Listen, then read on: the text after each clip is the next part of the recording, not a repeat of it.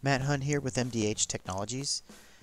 This is the second video in our training series on Windows 8.1, uh, our introductory training videos.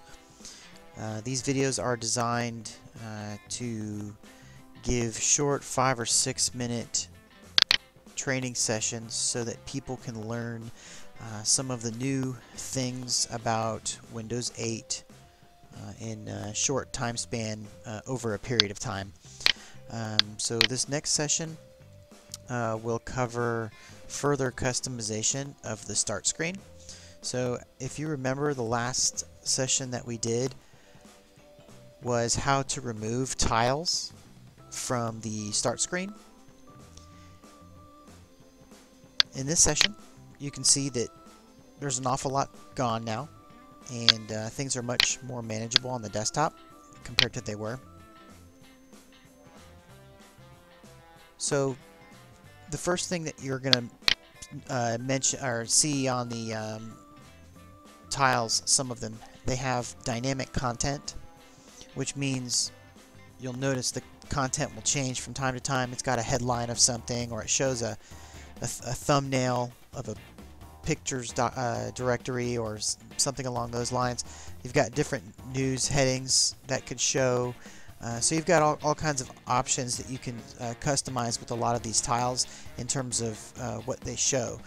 Uh, and you don't have to settle for what the defaults are. Uh, it's your computer and thankfully Windows 8 has the ability to customize it further. So the first thing that we're going to show you is how to further organize this. You'll notice that there's a lot of space in between things now that we've deleted some stuff. So um, the next thing that we're going to do is just basically physically organize them and you can just do that by drag and drop. Okay, so we can just pull icons over and oops looks like I clicked on access there So we'll actually, we put uh, Word down there and Publisher, let's see, we'll just kind of fill up a single screen now. So this actually fits on one screen, so you don't have to scroll over, which is nice. You actually do have some room in the margin that I can add some more icons. Uh, that, that's the next thing that we can do to further customize. And, and you can add icons on the start screen by going to the uh, going or the swiping uh, to the down arrow there. And um, once you can view your full list of applications that are installed you can now right click on one of them control panel for example and you can pin to start and you'll notice now it appears here.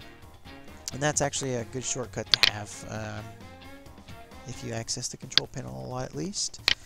I like uh, this PC is what used to be called My Computer in previous versions of Windows.